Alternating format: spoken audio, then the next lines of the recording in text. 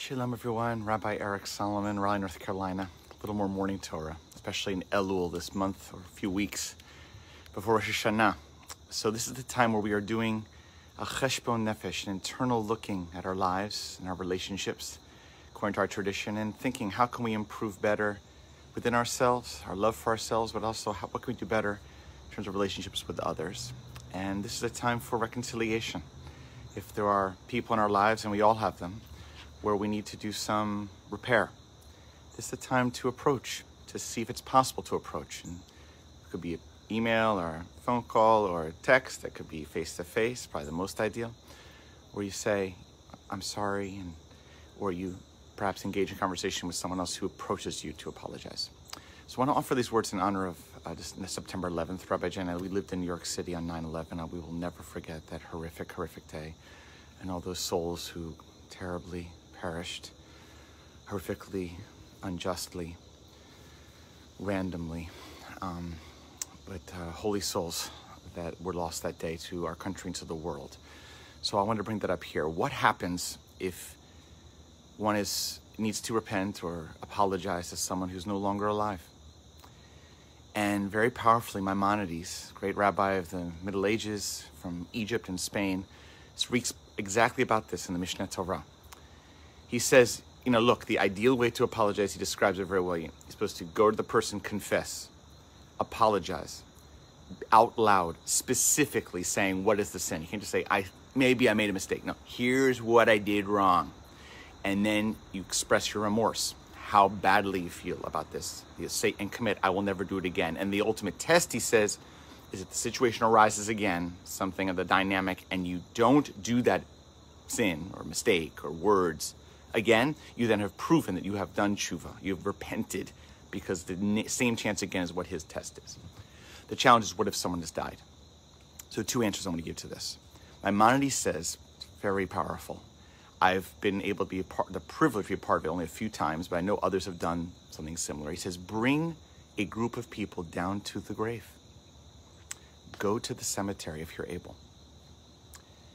He says, put up a minyan of people but I've heard other interpretations that bring at least, it's called a Beit Din, which is three witnesses. So it's you and three others. And do that process of confession before the grave. Now, the Rambam was a scientist. This, I don't think he thinks that necessarily the deceased hears you or knows, you know. But by you going down there and having it testimony essentially before witnesses, and those witnesses could be your you know, friends, people you know, family perhaps, your congregation that you cherish, and stating it and admitting it and showing remorse is a tremendous statement of your character. And can it spiritually travel? Who knows? Certainly can't hurt. But I've seen the person who feels in their heart regret, it has lifted them and cleansed their soul in preparation for Yom Kippur. The second piece is what if that person has hurt you? And they're no longer here. And that's, I think, even more common. There are no easy answers for this. Uh, that process is even more complicated. What I would say, though, in the middle of Yom Kippur services, one of the holiest moments, most emotional moments, is the Yizkor service, Yizkor, where we really honor all the deceased. Just one example, we had a Holocaust survivor in our congregation who did not know when his parents and siblings were killed by the Nazis he decided Yom Kippur was their yahrzeit, the anniversary of their death. So he would pray not only Yizkor to remember, generally speaking, those you've lost, but that day is the anniversary. It's an incredibly powerful day. So Yom Kippur Yizkor is considered like the peak of holding the souls of those no longer with us. But what happens if you have a complicated relationship? You're still hurt by things they said. I've heard a, a great rabbi, a number of rabbis have said, you know, death in the Jewish take is death is the end of a life. That is true but it is not the end of a relationship. And so, in that quiet time of prayer, if we do it here at, my, at Beth Meyer and other schools, I invite you to close your eyes, perhaps put your talit over your head, or just cover your hands.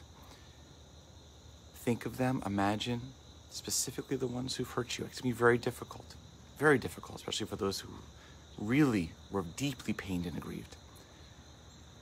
And to tell them how hurt you feel in your heart and that you if you're ready, you're prepared to forgive them, but only if they come and seek your forgiveness. Now, there could be nothing happen, you know, it's no guarantee. Um, but the prayer alone can rise up the conversation to see what arises within your own heart, your own, own neshama. I also want to say that over the course of life, while there are some very egregious and serious sins that honestly there may be no repair ever, no matter how hard you try and many prayers you offer, that's the truth. But for other types of experiences, hurts, legitimate, legitimate hurts, but ones that are not of the most extreme, you know, sometimes time can be helpful over the course of this practice because sometimes through aging, one gets a bit more perspective and even a little of compassion. That even though this person hurt me and they were wrong, and that's clear, as I age, I recognize I'm not perfect, I make mistakes. Most people don't intend to do evil acts. Most, not all, most. And can I find a place of compassion in my heart? and that perhaps this is hurting me more than anything else. And that sometimes can lift as well. So, two practices consider. One, the Rambam, perhaps go down to the grave for a customary during this period of time called Kever Avot to visit those who are deceased if you're able to do so. And to bring some friends and to really seek that forgiveness publicly in a very appropriate way. You also could do it quietly in your heart with them present or out loud or during Yizkor to seek the opposite. May they, those experiences help you to lift you up and to cleanse your soul, your neshama, from the, the hurt and the pain in both directions. So you can enter the new year and the rest of your life ready to be even closer to God and, you know, less burdened on your heart so you can go forward, ready to take on and do better in the world and feel better in the world. In honor of all those who sadly perished, no time like the present.